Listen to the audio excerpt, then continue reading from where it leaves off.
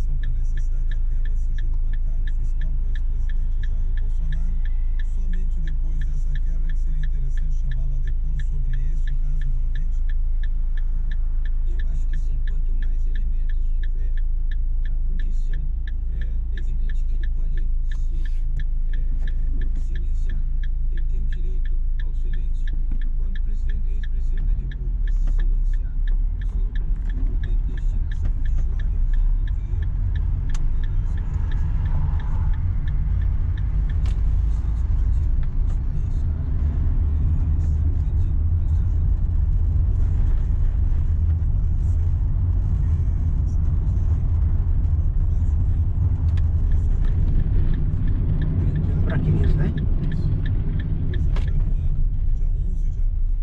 Beleza, Rodolfo?